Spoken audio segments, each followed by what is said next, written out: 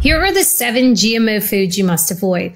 Corn, soybean, canola, sugar beet, alfalfa, cotton, potatoes. We've got a few more.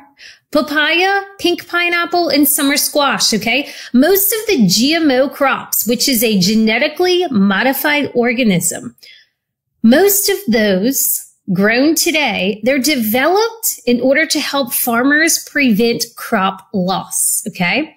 The three most common traits that you're going to find in a GMO crop are they have resistance to insect damage, they can tolerate herbicides, and they're resistant to plant viruses. So you guys think about this. When a farmer is farming, okay, a lot of times they'll lose all their crops. Then what happens? They lose a lot of money, right? So they want to get these GMO crops and they want to spray pesticides on them in order for insects not to kill them.